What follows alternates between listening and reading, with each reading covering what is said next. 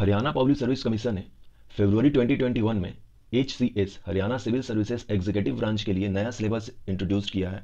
हम आज उसी सिलेबस को देखेंगे। देखेंगे कि क्या क्या चेंजेस हुई हैं। सबसे पहले जो हरियाणा पब्लिक सर्विस कमीशन है एचसीएस की एग्जामिनेशन तीन स्टेज में कंडक्ट करवाती है। Primary exam mains exam and third is personality test salary of primary examination देखते हैं। इसमें दो पेपर होंगे पेपर वन और पेपर टू पेपर वन में जनरल स्टडी है और पेपर टू में सी सेट है। पेपर वन का सिलेबस देख लेते हैं। General science current event national and international history of India and India national movement India India and world geography India नहीं एंड नेक्स्ट है Indian culture Indian polity and Indian economy general mental ability and Haryana special में भी questions आते हैं। Hundred questions में ये तो minimum हमें काउंट करके चलना ही होगा कि टेन जो क्वेश्चंस है, वो हरियाणा जीके से देंगे। और वो फिफ्टीन या ट्वेंटी भी हो सकता है, इसलिए हरियाणा स्पेशल भी काफ़ी अच्छे से करना होगा हमें। तो हरियाणा में इन्होंने बस केवल इतना लिखा है कि Haryana economy and people social economic and culture institutions and language of Haryana. अब ये डिटेल सिलेबस में कुछ इस तरह से लिखते हैं कि question on general science will cover will cover general appreciations and understanding of science including matter of everyday observation and experience as may be expected of all educated person who has not made a special study of any particular scientific discipline देखिए syllabus में तो इन्होंने ये कहा ठीक है लेकिन basic ही general science पूछे जाते हैं इसमें। ये साइंस एंड टेक्नोलॉजी नहीं पूछा जाता है यूपीएससी की तरह। तो हमें फोकस करना है जनरल साइंस पर, जो कि लूसेंट वगैरह में दिया हुआ है। यानी कि क्लास नाइन टेंथ वाली जो फिजिक्स केमिस्ट्री और बायोलॉजी है, उस पर फोकस करना है। अब देखते हैं next CSAT paper two जिसे civil service aptitude test CSAT हम लोग कहते हैं।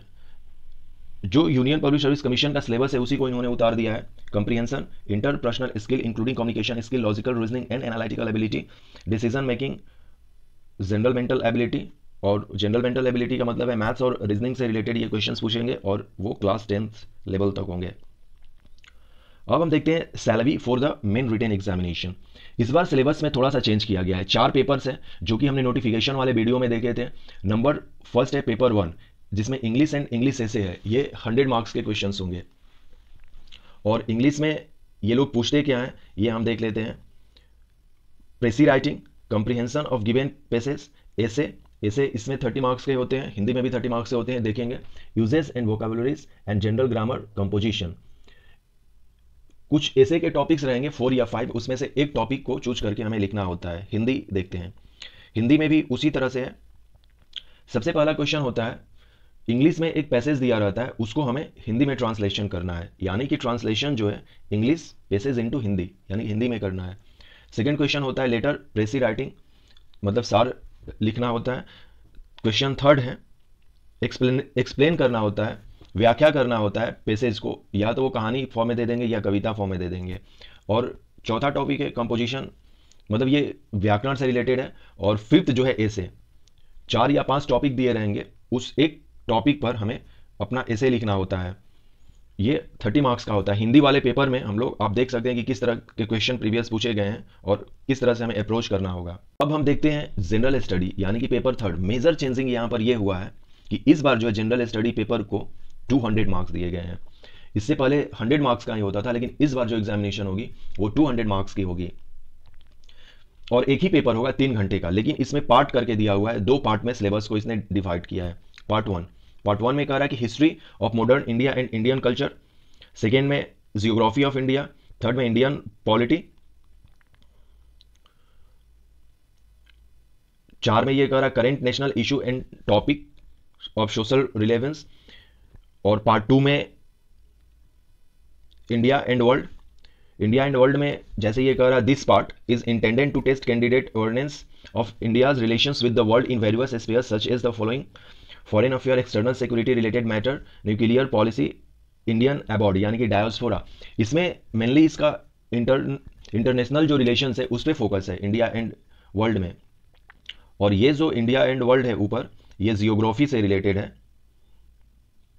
यहाँ वाला जो प्रोपोर्शन है, ये जियोग्राफी ऑफ़ इंडिया से, ये जियोग्राफी ऑफ़ इंडिया से रिलेटेड है।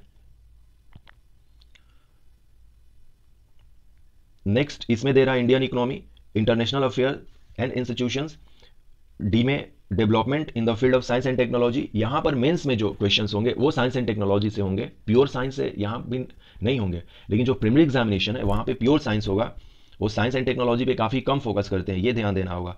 और पांचवा इसमें है statistical analysis graph and diagram एक क्वेश्चन डायग्राम से आता है. प्रीवियस ईयर के क्वेश्चन पेपर से देखकर हम समझ सकते हैं. और पेपर फोर इसका होगा ऑप्शनल पेपर 29 सब्जेक्ट्स में से कोई एक सब्जेक्ट हमको चूज़ करना है और ये जो इस बार होगा, ये 200 मार्क्स का होगा। पहले क्या होता था कि दो पेपर्स होते थे 150 मार्क्स 150 मार्क्स यानी कि 300 मार्क्स के होते थे दो पेपर लेकिन इस बार एक ही पेपर चूज़ करना है। हमने नोटिफिकेशन वाले वीडियो में भी देखे हैं और इसका मार्क्स होगा 200 तो टोटल हो गए 600 मार्क्स के मेंस एग्जामिनेशन पेपर वन यानी कि English 100 marks paper two Hindi यानी कि 100 मार्क्स और general study paper three that means 200 marks और ऑप्शनल पेपर कोई एक चूज़ करना है, वो 200 मार्क्स की। तो टोटल हो गए अपने 600 मार्क्स ऑप्शनल का एक एक करके मैं वीडियो बना दूँगा कि ये ये ऑप्शनल सब्जेक्ट में है। तो कुछ इस तरह से ऑप्शनल सब्जेक्ट है। आप देख सकते हैं, मैं स्क्रॉल कर दे रहा हूँ। जैसे animal husbandry and veterinary science का पार्ट वन करके देगा और पार्ट टू करके देगा। प्रीवियस ईयर के क्वेश्चन पेपर में जियोग्राफी हिस्ट्री का डाल रहा हूँ इस पर तो आप देख सकते हैं वो वीडियोज़ कि किस तरह के क्वेश्चंस पूछे गए हैं जियोग्राफी में और हिस्ट्री में। और भी जो क्वेश्चंस पेपर होंगे, मैं उसको डाल दिया करूँगा इस पर इन्होंने बस यही किए हैं कि ये जितने सारे सिलेबस आप देख रहे हैं, ये और कुछ नहीं, इन्होंने कुछ नहीं किया है। बस क्या किया है कि यूनियन पब्लिक सर्विस कमीशन का सिलेबस इन्होंने उठाया है और उसी को टू द वर्ड लिख दिया है। मतलब कि कॉपी कर दिया है इन्होंने हर एक पेपर का। वहाँ पर पेपर वन और पेपर टू के फॉर्म में लिखा रहता है। यहाँ पर इन्होंने पार्ट वन और पार्ट टू करके लिख दिया है। बस यही फ़र्क है और कुछ नहीं फ़र्क है। और सारे के सारे जो पैटर्न है मतलब क्वेश्चन वहीं ये सिलेबस जो है वहीं से उतार दिए हैं। सो so, इस वीडियो को यहीं पे हम लोग खत्म करते हैं। I hope you